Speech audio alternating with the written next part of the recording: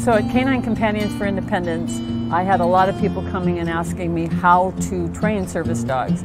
I felt really drawn to wanting to get more service dogs out than we were able to do. So I, I had to make a decision and I left to actually found a school to teach people how to do it. So while our goal here at Bergin is to place dogs with individuals who have mobility challenges or veterans with post-traumatic stress disorder, on occasion the traits of the dogs that we train here match better in a different environment. We have all said that Larry is the greatest staff member, the newest and greatest staff member at ACE. If Larry's not on campus, it's not a good day for some kids because he's, he's not here. Um, we have one student who everyone knows that when he walks up the steps, they have to back away because he wants Larry and Larry loves him and it's adorable. It just brightens everyone's day just watching the two of them together every morning. It's awesome.